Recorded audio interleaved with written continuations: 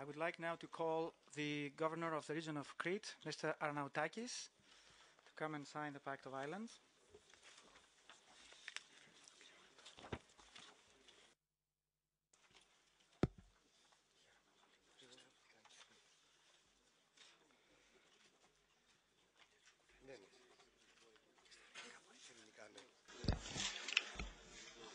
Θεωρώ ότι αποτελεί σήμερα Well, μια σημαντική μέρα today για τα νησιά μας. we are living through a very Η υπογραφή important αυτού day του for our συμφώνου. islands on, Η with the Ελλάδα, signing of this pact. And η Greece, μπαίνει Crete, μπροστά σε συνεργασία με όλους is για να φτάσουμε coming στο στόχο forward που with έχουμε all βάλει. of you Ευχαριστώ πολύ. are trying to achieve the aims we fixed. Thank you.